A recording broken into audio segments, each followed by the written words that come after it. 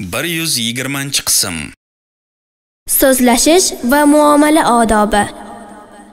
Ey farzand, sen o'z yumushlaringni bajarishda odamlar bilan muomala qilasan. Buning uchun senga til berilgan. Sen til bilan boshqa jonzotlardan afzaldirsan. Shuning uchun sen chiroyli did farosatga rioya qilgan holda va to'la odob bilan tilingni faqat foydali narsalarga ishlatishing kerak. Buning uchun quyidagilarga rioya qilishing lozim. Birinchisi, agar bir odamga gapirsang, o'rtacha ovoz bilan gapir.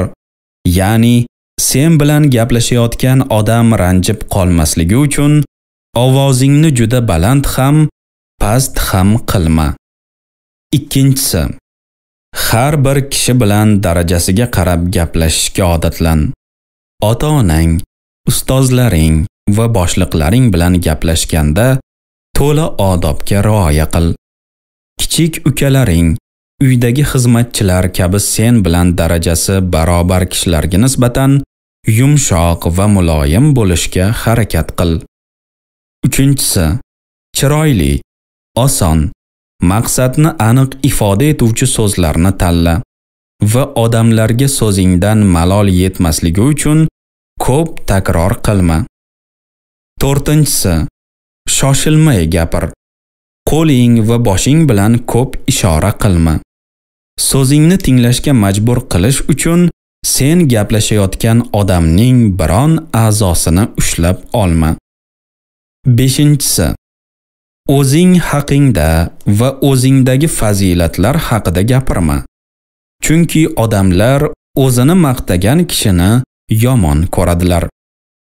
6. Sergap bo'lma va so'zni faqat o'zingniki qilib olma. Chunki suhbatdoshing senga javob qaytara olmasligi mumkin. 7. Senga gapirayotgan odamni qo'yib, boshqasi bilan gaplashishga yoki kitob va jurnal o'qishga chalg'ib ketma. So'zini tamomlashdan oldin suhbatdoshing so'zini bo'lma. 8. Agar suhbatdoshing so'zidan biron noto'g'ri narsani topsang, yolg'onchiga chiqarib yoki e'tiroz bildirib, uni hijolat qilma.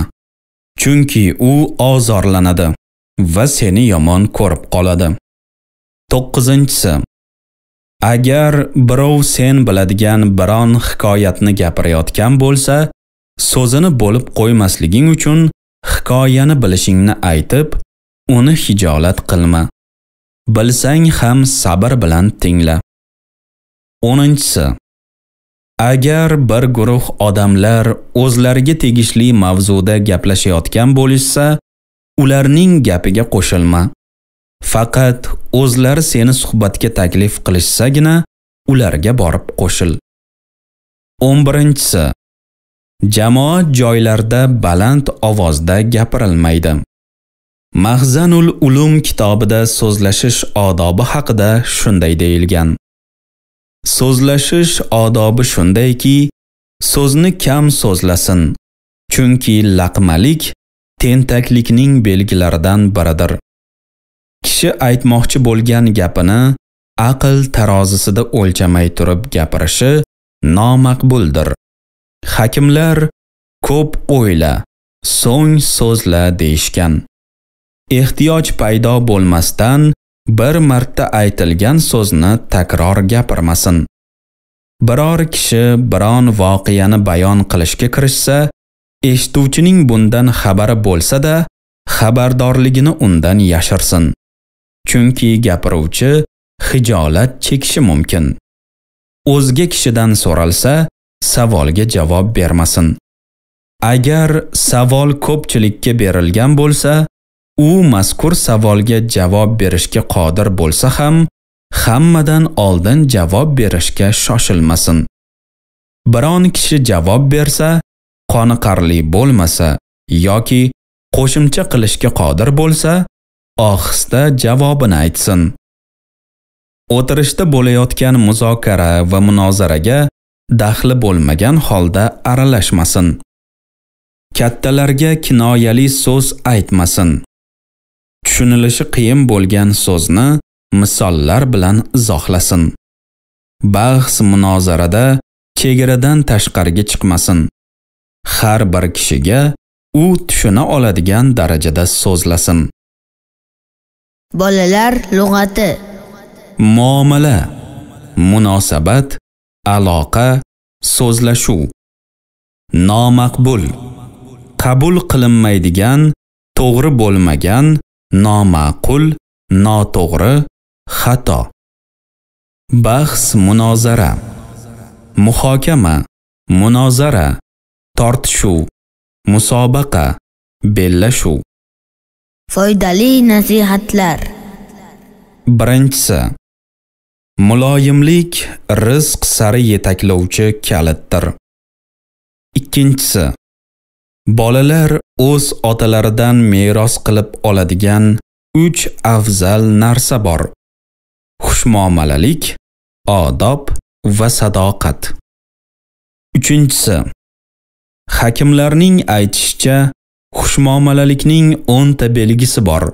Bular insof, aql, ilm, bag'rikenglik, oliyjanoblik, ko'rkam fe'l, yaxshilik, sabr, shukr, muloyimlik. 4-tinchisi xayrli va savobli ishlar insonni turli halokatlardan asraydi. 5-inchisi tili shirin odamning do'sti ko'p bo'ladi. 6-chisi O'zingdan ulug'lar senga rahim qilishini xohlasang, o'zingdan pastlarga rahim qil. 7-chisi Hakimlardan biri dedi. Qadimiy hikmatlarda aytilishicha, inson o'z yaratilish xosiyati bilan hayvonlardan afzal bo'ldi. Unga bir og'iz, ikki quloq berilgan. Shuning uchun u bir marta gapirishi va ko'p marta eshitish kerak. 8-si O'ylab so'zlagan kishining so'zi to'g'ridir. O'rinsiz ko'p vaysagan til shafqatsiz yovdir.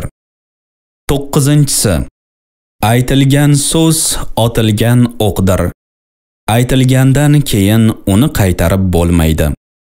Ko'p so'zdan ko'p xato bo'ladi. biron joyga qadalgan nayzani chiqarib olsa bo'ladi. Ammo dilga qadalgan so'z zahrini chiqarib bo'lmaydi. 10-si So'zlovchi ba'zida adashadi va xato qiladi. Tinglab turgan zakovatli kishi uni tuzatadi va to'g'rilaydi. 11-si Suvning mazasi muz bilan, oshning mazasi tuz bilan. Odam yaxshiligi so'z bilandir. 12-si Odam o'z fikrini tili orqali ifodalaydi. Tildan chiqqan so'zlari yaxshi bo'lsa, u e'tibor topadi. Ziyovuddin Rahimning Bola odobi bilan aziz kitobidan